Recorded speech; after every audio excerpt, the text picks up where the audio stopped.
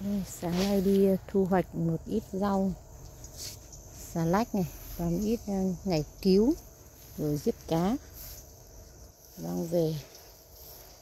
Đồng thời là sẽ lấy ít ờ, rau tập tàng mót mót các loại rau tập tàng mang về.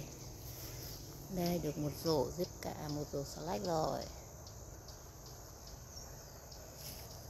Đồng thời sẽ gieo tiếp một ít xà lách nữa để hy vọng là tết vẫn còn xà lách ăn nha. Đây là xà lách gì đây? Xà lách đâm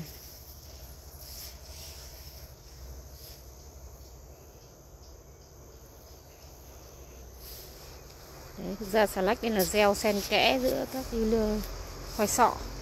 Tháng trước là đã gieo khoai sọ vào đây rồi. Giờ nó lên rồi.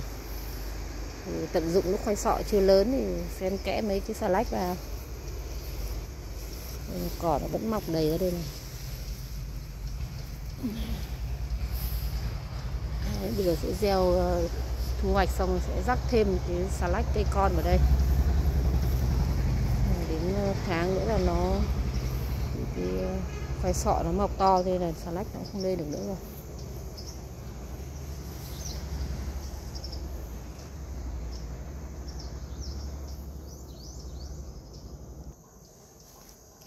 À, hôm nay cũng sẽ cắt ờ, một ờ, mớ cái lá tỏi này để ăn này.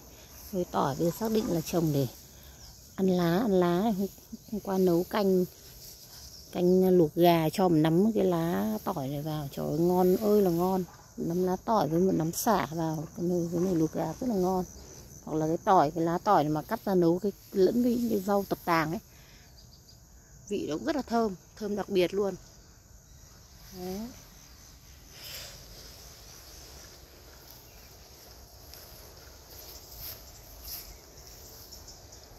Đây cà chua đây.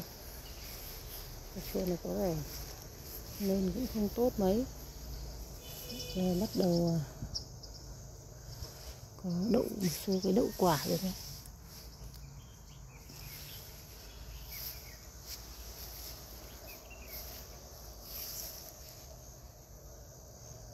bên à, mé bên kia của cái à, dãy cà chua này đang gieo một ít cái cây đậu, cô ve leo để sau nó tận dụng cái giàn này nó leo được luôn vào cái cái cái giàn này thì được.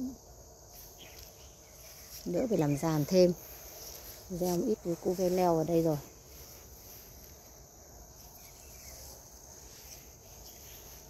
Đây là cái thùng xốp ủ đất này.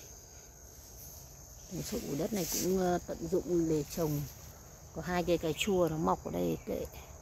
Không đánh đi để nó mọc luôn trong cái thùng xốp ủ đất này.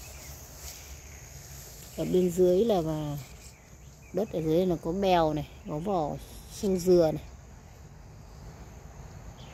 Ờ, vỏ bã mía này đấy nằm trong cái thùng này.